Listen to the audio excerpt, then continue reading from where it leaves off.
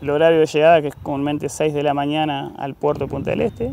Cargamos la lancha y salimos. ¿Cómo andás? ¿Todo bien? ¿Estás bien?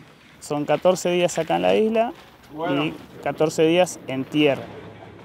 Como soy de Tacuarembó, tengo que venir el día antes para poder hacer las compras y levantar el material que traemos para el trabajo que se vaya a hacer durante la quincena.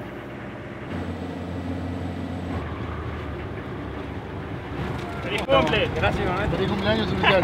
Se baja el bote y ahí se empieza la descarga de todo, de lo que son los víveres y los materiales.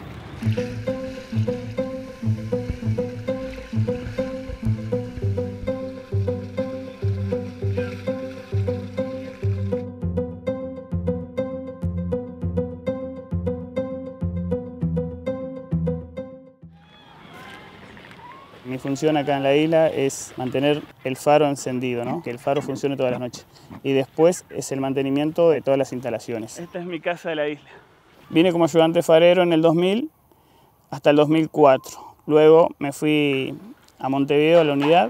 Regresé en 2011. Estuve un año, luego me fui a, a Misión de Paz Haití y en 2013 volví para la isla como encargado.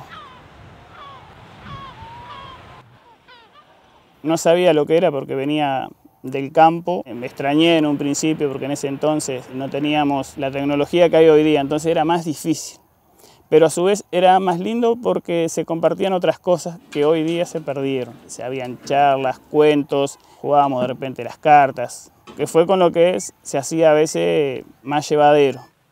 Lo más difícil de- del trabajo son los relevos a veces en invierno, son todos con mar picado y se hace dificultoso porque terminas mojado, eh, con frío. Y otra de las cosas es también que pasas mucho tiempo lejos de tu familia y perdés muchas cosas, eh, disfrutar muchas cosas, a veces en mi caso con mi hija, pero fue el trabajo que yo elegí.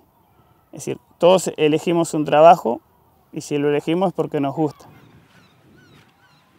Tenés que adaptarte a la convivencia con los lobos, porque ellos están en su hábitat natural, si vos no los molestás, ellos no te hacen absolutamente nada.